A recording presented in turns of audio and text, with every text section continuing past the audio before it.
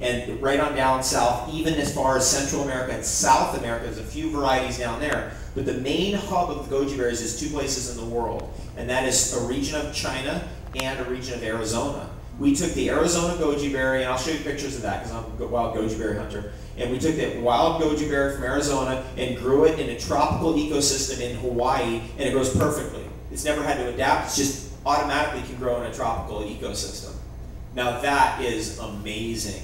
What it indicates is this plant's an adaptogen. So what it gives to and imparts upon you is adaptogenic qualities to be able to adapt to different stress levels, adapt to different environments, adapt to different situations in your life. And you can grow it in your garden right here. You could do, you could grow right here in South Florida.